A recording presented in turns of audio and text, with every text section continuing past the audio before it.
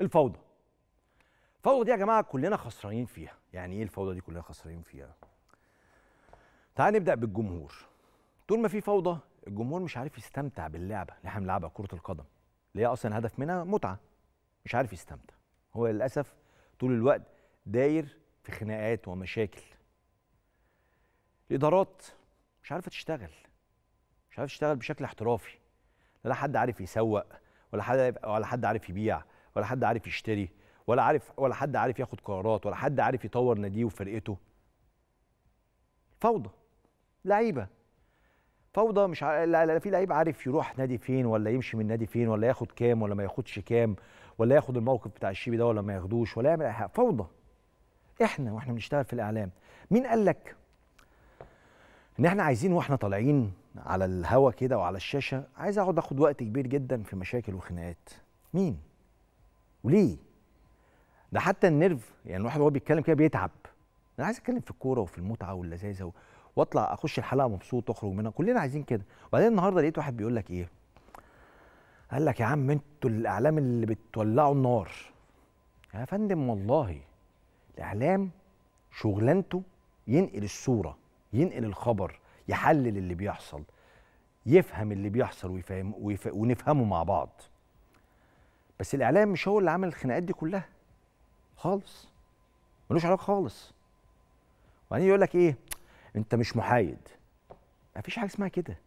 في حاجة اسمها إن إحنا بنقول وجهات نظر. وفي حاجات مسلمات. يعني هديك مثال. النهارده دخلت انتقدت مروان حمدي لأنه سب جمهور النادي الأهلي بعد المباراة. هل دي يا جماعة محتاجة وجهة نظر؟ في يعني في وجهة نظر المفروض نقعد نتنا- نتناقش فيها؟ في لاعب تجاوز مع جمهور. بنقول له انت غلطان. تلاقي واحد داخل يقول لك انت إزاي تقول كده؟ انت مش محايد. ده ما ينفعش. انت فاكر لعيب الاهلي قلت ولعيب الزمالك كنت قايل عليه؟ وتلاقي بقى إيه؟ يجيب لك من قديم قوي. طيب. بمناسبة القديم ما تيجوا كلنا كلنا نفتح صفحة جديدة. نبدأ من الأول.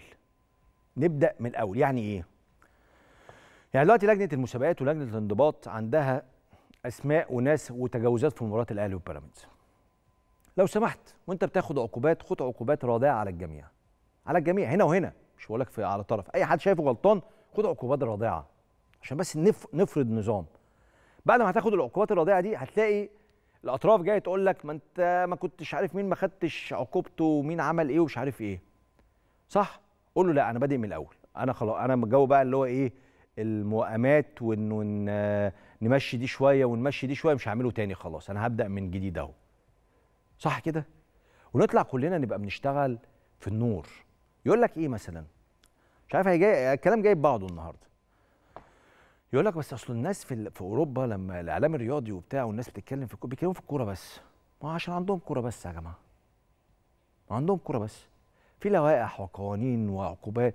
لا هتلاقي مثلا لعيبة بعد المباراة داخل يشتم يمين وشمال سواء في الملعب أو على ال social media.